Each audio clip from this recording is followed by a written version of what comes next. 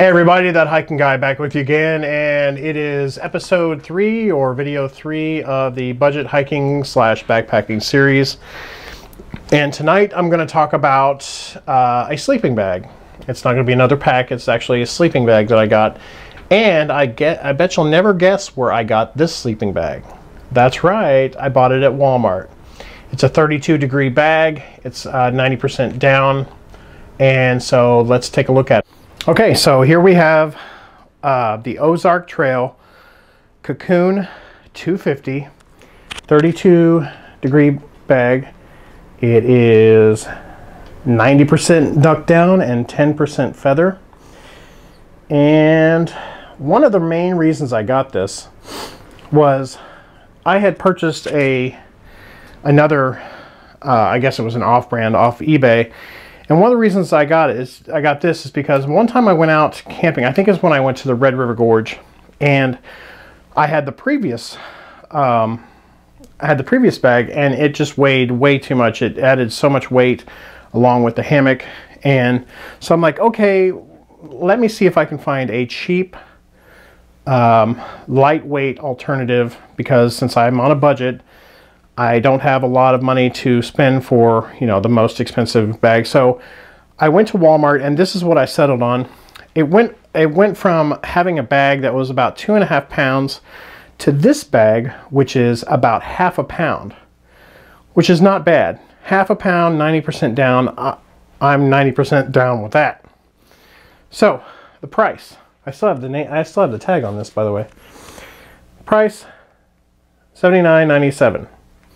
That might be pricey for a cheap, uh, for somebody's budget, but the weight that it saved me was uh, worth it to me. I, I on my next uh, overnight, which I did um, at the Hemlock Cliffs, it was going to get down to 26, so I knew the rating wasn't good. So I brought it and one other, and I still had less uh, weight together with those two bags than I did with the one bag that I got of the off-brand. So, um, all right. So as you can see, it comes in its own compression sack or its own sack here. Um, I really like that. It doesn't take up much space in the bag. Uh, let's see. Let's the the uh, the lid. It comes it comes off. Why can I never get this right? It comes off and stays attached. I like that so I don't lose it. So let's pull it out here if I can. These are really... Now, this is a mummy style bag.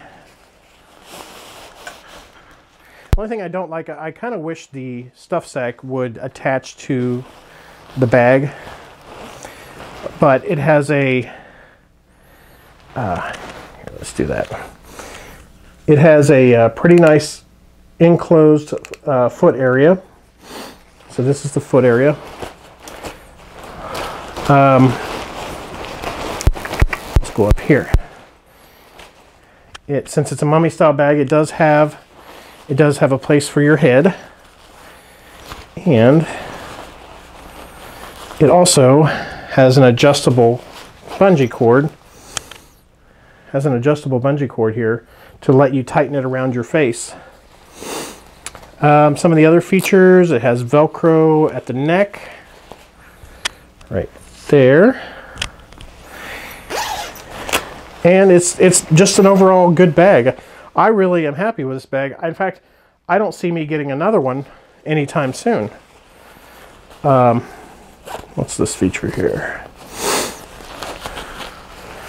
It has, oh, has a little, has a little stuff compartment too. So it has a little stuff compartment. That's, you know, you put your cell phone in so you don't lose it.